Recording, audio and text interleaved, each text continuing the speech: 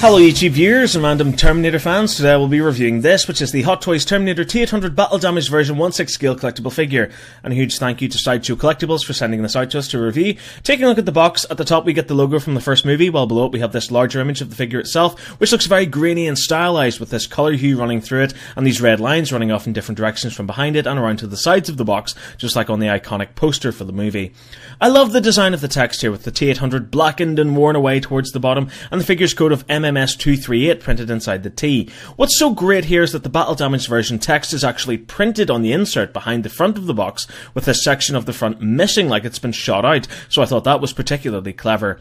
Continuing the theme of the movie's poster, we also get some text from it too. Of course, if you want to read it, pause the video. The back contains all of your usual legal, guff, and product information, but the layout of it is excellent, as it's styled like the actual Terminator Vision, while behind it you can see this is lifted from the scene in the movie where the Terminator is approaching Sarah and Kyle's motel room. Lifting off the front of the box, box, you can see this little insert, which has a few bullet holes in it, plus that red line design from the front also makes an appearance here, but it now contains the names of all the highly skilled people who put this figure together. Taking away the insert reveals the figure and its many accessories, which are all laid out and displayed nicely within this plastic tray. So, that's about it for the packaging, so let's move on to the figure itself. Okay, so here we have the T800 Terminator, and it's just a work of art. Looking at the head sculpt, it's undeniably Arnold Schwarzenegger circa 1984. The sculpting on the face is just perfect, what with the little imperfections and bumps on his forehead there, creases where he's frowning, and even the sort of bag under his one human eye has been included. The cheekbones are also visible there too, and his strong jawline around the bottom of his face. It all looks so good, and really does look like skin, with the subtle dimples sculpted into it. What really sets this off, though, is the paint apps as the skin has been given a slight glossy look, just like the makeup used on Schwarzenegger in the movie, to make his skin seem somewhat synthetic. And what's more, some great shading has been applied to really bring those features to life, and also highlight that 5 o'clock shadow around his chin. The exposed eye is just brilliant. It's great how sunken in and realistic it looks. You can see the red eye embedded in the endoskeleton's eye socket, while the metallic silver paint apps have been coated with this glossy red, and as has the edge of this wound, which effectively adds to the gore element. The hair looks great, being from the latter half of the movie, Arnie's hair is much shorter and spiked up, and Hot Toys have done an excellent job here with matching its style. As well as that, we have the various brush strokes on the sides and back, but the one thing that does detract from this is the quite obvious joint on the sides of the head, even if it has been sculpted to look like part of his hairstyle. Moving down to the torso, the Terminator is of course sporting his black leather jacket. This is made from a very thin yet sturdy material, and you can even see the leather design molded into it, which is a fantastic touch.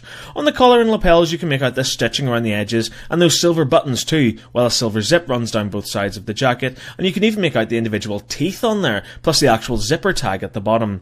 Smaller zips are present on each side representing pockets, while another pocket has been included on the left hand side with this flap above it, and another zip pocket beside it. On the back we get some further battle damage. This time there are a few subtle bullet holes and some larger pieces of damage on the left shoulder blade, where pieces of the jacket have been removed completely, allowing you to see through to his grey t-shirt, which has been effectively blood-stained.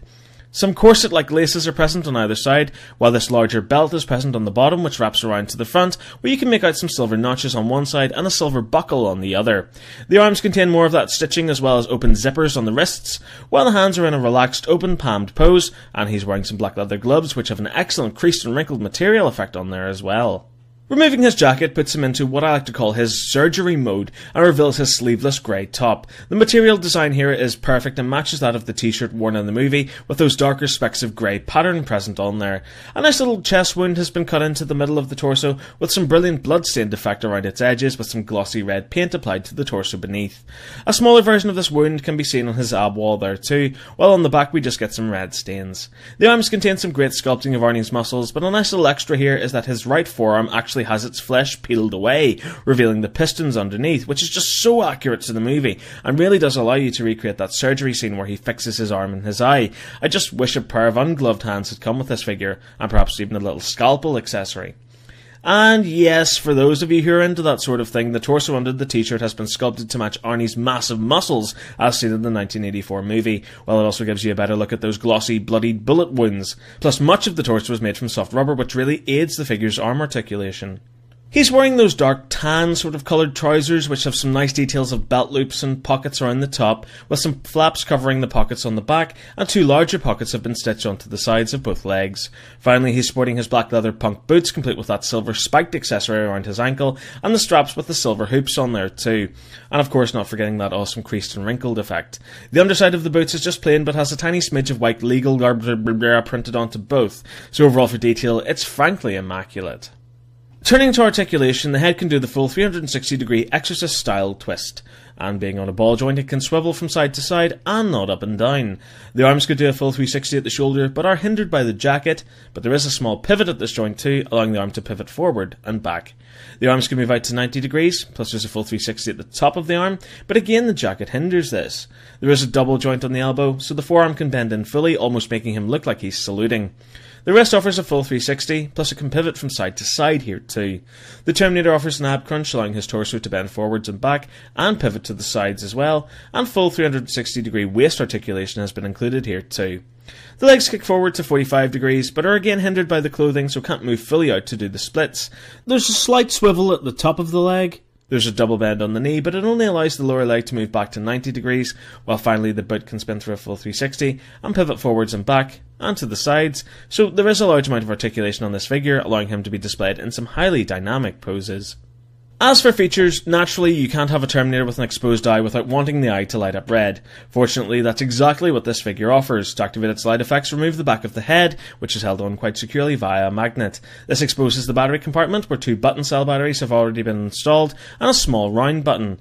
Pressing this will cause the exposed eye to light up red. This looks excellent and really sets the figure off, but unfortunately there's no real way to turn the light off, instead it will stay lit for around 40 seconds before automatically switching off. I really wish that you could just switch the light on and leave it on for when it's on display, like the arc reactor and repulsors on the Hot Toys Iron Man figures, as this feels like more of a gimmick from a kid's toy than the feature of a collectible meant for display. When it comes to accessories, Hot Toys have supplied a multitude of extras. First up, we get an entirely alternate head sculpt. It's easy to attach as the old head has just popped off and the new one is snapped into place. As you can see, it's the same face sculpt, but with much more damage from closer to the end of the movie when he's run over by the oil tanker. This just looks particularly nasty and I love it. Frankly, what you're looking at here is more or less a scaled down version of the puppet head created by Stan Winston. So on top of that excellent skin sculpting seen on the other head, you can additionally get all this brilliant damage where the flesh has been stripped away, revealing large portions of the endoskeleton underneath. On the slightly less battered side, we get some fantastic dirtied marks all over his face, as well as a few cuts and gashes, which contain a hint of silver in there. But flipping it over to the other side, all hell has broken loose. At the top, the hair has been worn away along with the flesh to reveal the dome of the endoskeleton skull, which has actually been recessed into the head, adding to the effect that the flesh has been worn off. And I love the great contrast in paint apps here, from the matte skin to the glossy blood to the chrome metallic silver. It all just works perfectly. And again, below it, the skin on the cheek has been ripped away, revealing a lot of the metal jaw and various pistons beneath. It's also three dimensional, and the sheer attention to detail is simply outstanding. Naturally, as well as this, the damage to the eye, as seen in the other head, makes a return here too, as does its light effects, which operate in the exact same manner. So this alternate head really opens up the display options for the figure. But let's talk firepower, because in the end, what's a Terminator without a large arsenal of weaponry? First of all, he comes with a six shooter revolver, which has some nice detailing on the brown grip, while the cylinder actually moves out from the body of the gun and can also rotate, and even the hammer can be subtly moved there too. Next up is the iconic 45 long slide with laser sighting, which has been expertly recreated here, complete with the fact that it can be pulled back and cocked, and what's more, the ammo clip can be slid out from the bottom, where you can see the round inside, so that's just a great touch. Here we have the AR-18 assault rifle from the attack on the police station, gloriously recreated, with some fantastic detail on the sides there, while this cocking handle is on a spring and can be pulled back to load it. A material strap has been attached to the gun as well, allowing Arnie to carry it over his shoulder should you wish to display him like this, and the magazine is also detachable, revealing tiny detailing of bullets inside. And completing the ensemble, we get the 12 gauge autoloader pump action shotgun, which has been beautifully recreated here with a material loop on the back, an actual working pump on the barrel, and another silver spring loaded cocking handle on the side. But what good are all these weapons if the Terminator can't hold them? Well, fortunately, some alternate hands have been included, four pairs in total, including the relaxed palm hands we've already seen. The rest are all gloved and contain that creased and wrinkled material sculpting, but one set are moulded into fists, and another set are sculpted to hold the weapons. So utilising both of these will allow you to pose the Terminator as though he's assaulting the police station while wielding his assault rifle and shotgun. Or a combination of one of these hands and a fisted hand makes for some great poses with the smaller handguns. We also get these open palm battle damaged variants where the flesh has been ripped away from the fingers and knuckles revealing the silver endoskeleton underneath and they're on the insides of the palms and on the tips of some of the fingers too. These work perfectly in tandem with the alternate head to really make the figure look like how the Terminator appeared during the final chase after being hit and dragged by the truck. Finally another alternate hand has been included, this time to help better pose the figure when he's holding the assault rifle or shotgun to make it appear as though he's firing it. Two alternate wrist joints also come with this figure, just in case the current ones are damaged when on display display. And naturally, the black sunglasses are part of this set as well, and they're actually made from translucent plastic so you can sort of see through them. These work so well with the less damaged face sculpt, where they sit securely on his nose, covering up the eye damage. And due to their translucent material construction, when the red eye is illuminated, it actually shines through the glasses, which is an excellent effect. The Terminator also comes with a base, and it looks fantastic. It's not your standard Hot Toys base, but it does come with that crotch cradle thing that holds the figure securely onto it. As you can see, it's been sculpted to look like part of the freeway from the end chase, complete with the two yellow lines running across it, the detail of the concrete, and some of the debris and blood effects from where the Terminator was hit by the truck, alongside some very precisely detailed bullets. And completing the detail, this awesome pipe bomb has been sculpted on there. I almost wish it was removable, as it would make a fantastic accessory, but as it stands, it just completes the look. A tiny plaque is present on the front of the stand with the Terminator logo and T800 printed below, and what's more, the stand features light effects. Batteries are not included, but it does take three AAAs which power these two LEDs on the front, which can be angled to point at the figure itself, which more than makes up for its timed eye light when on display.